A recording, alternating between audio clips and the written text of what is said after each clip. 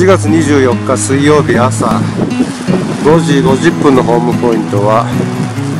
強いオフショアと小雨の中で撮影はとても大変ですがオフショアが強いので、えー、海はあまりにもオフショアが強くて沖に向かって潮が流れているのが見えますね。フラットですね。撮影がとても大変です。ホームポイントの右もオフショアでそのオフショアがやや弱まったので撮影はしやすくなりましたが海は湖のようにフラットですね時に強烈なオフショアが吹いて傘を持っていかれそうになるのでそれが大変です。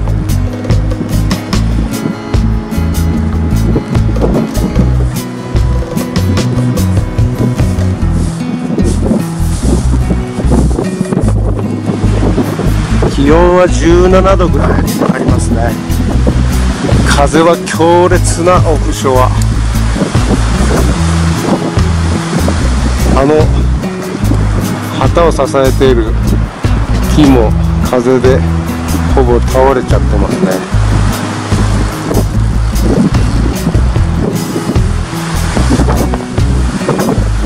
強烈です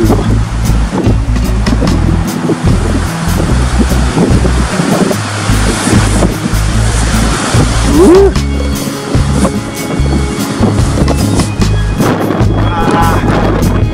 雨がやんでる。分こうやって撮影できた